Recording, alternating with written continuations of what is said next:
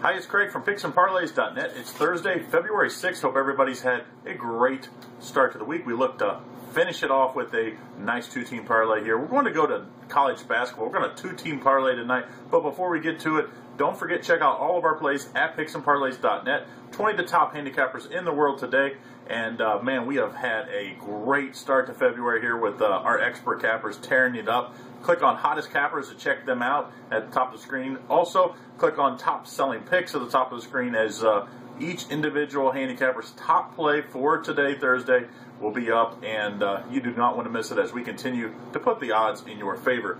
Like I said, got a two-team college basketball parlay, two plays that maybe uh, you're not going to be watching these games probably, uh, but they might mean something come the NCAA tournament time, and they will mean something when we hit when we cash our winning parlay. So Murray State at Belmont tonight. I like Murray State plus seven. In the first matchup at Murray State this year, uh, they dominated the whole game. Belmont somehow uh, squeaked out a win late.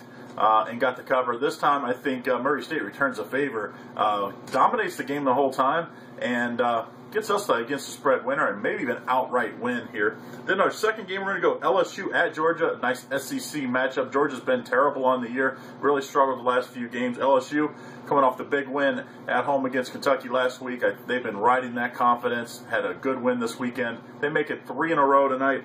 Uh, LSU minus three is a play here. I just think the size and athleticism of LSU will be too much for Georgia. So our two-team parlay for Thursday, February 6th. We're going to take Murray State plus seven, and LSU minus three for our two team parlay. Have a great day. We'll be back on Friday with a two team NBA parlay for everybody, and uh, of course, a big weekend ahead.